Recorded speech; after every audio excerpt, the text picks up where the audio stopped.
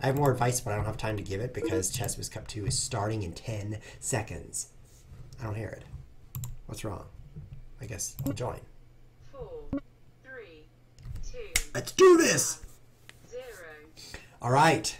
Important note about this tournament, let's start with the bishop d4 right now, is the time control. It is, oh, I'm black. Oh, well, okay. I guess I hope the black wins then. I'll just copy that move, hope it works. I'm fighting against Puri Karian, and he's starting with that bad opening, so I'm just going to take that bishop, um, and now my rook can, can om-nom this stuff. Unfortunately, it's pinned right now, so I'm going to have to come up with some other plan, like maybe bishop here or knight here. The time control is two minutes and two seconds added. I think I'm going to use the knight, um, because that is a beautiful fork, and if he takes it, then I've got the bishop. Two bishops is really nice in this opening. And so he's just going for a run. Let's let's show him how it's done.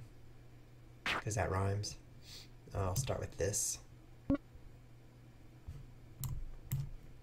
No, I'll play this. I'm playing this. Oh, I can't. Why not? Um, because it's check. Okay, so I'll, no, so I'll take this way.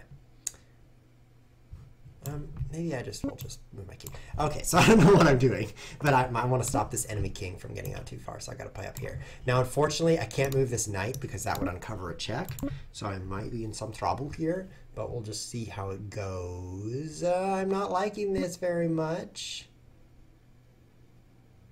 because he is getting pretty far, but he does have to move here next, right? Because the bishop's blocking these squares. So it's two minutes with two seconds added every move. So I've used about half my time. Now let's take this thing with the knight. I can't do that yet. Okay, so I'll take here.